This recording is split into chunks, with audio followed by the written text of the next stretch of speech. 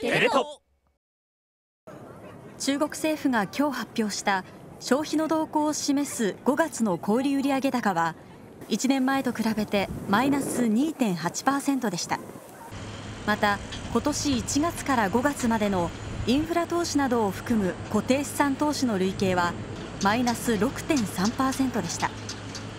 新型コロナウイルスによる記録的な落ち込みを受けいずれも政府主導の消費刺激策や公共投資の増加によって持ち直しつつあるものの前年割れが続いています。一方5月の鉱工業生産は自動車産業などの生産回復が進み1年前と比べて4.4%の増加となりました。しかし世界的な感染拡大に伴う外需の不振が生産を押し下げる可能性が高く習近平指導部は内需主導で経済の立て直しを進める考えです。